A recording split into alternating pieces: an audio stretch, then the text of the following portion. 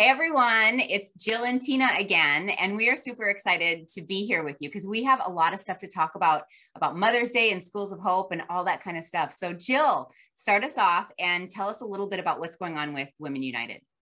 Hey, Tina, thanks so much. Absolutely. As you know, Mother's Day is coming up here.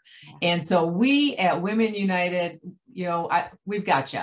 We have a great opportunity for you to honor your mother or the mother figure in your life while helping out the kids in Dane County by supporting the Schools of Hope Literacy Tutoring Program.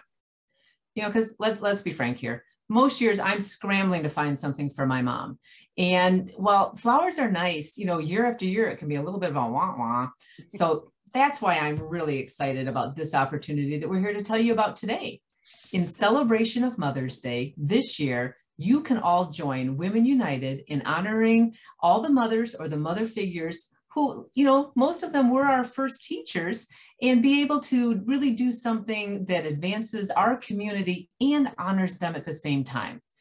You know, I thought it was crazy when I learned that, you know, kids, they learn to read up until about the third grade.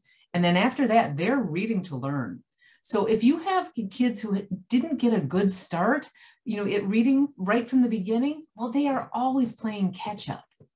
So, Tina, what can you tell us about the Schools of Hope and how people can help this year? Yeah, so this is really exciting. We have great opportunities here. So, the Schools of Hope is a literacy program uh, that provides one on one reading support to elementary school students in our community here in Dane County. And so, it's an amazing program um, that we know that reading is critical to the success of someone. Um, and, you know, perhaps it's your mother or your father or someone like that um, in your life who really means a lot. And so here's here's the deal. Our goal is to raise ten thousand dollars for the Schools of Hope, and you have two different ways that you can get involved.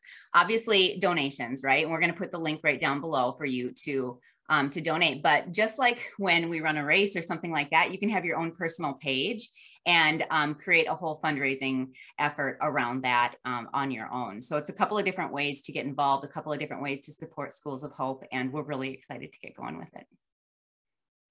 Absolutely. You know, Tina, uh, in the last couple of years, my kids know how important Women United and Schools of Hope are to me. So in the past, they've made contributions in my name. And, you know, it's easy peasy.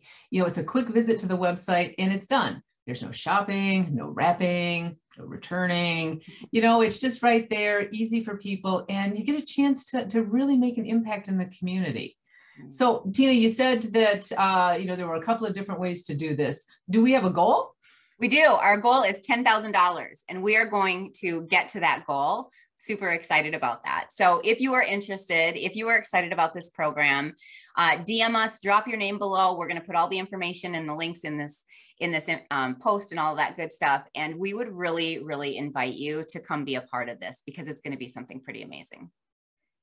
Absolutely. You know, this is a chance to honor your mom or, or maybe a teacher who had a big mm-hmm. impact on you, you know, and make a difference in the lives of the children of Dane County. So whether you want to, you know, give or maybe, you know, really uh, make an impact and set up a fundraiser of your own, we've got the instructions for you. We can make it easy. So please join us this year, honor your mother, honor a mother figure, and help the kids of Dane County.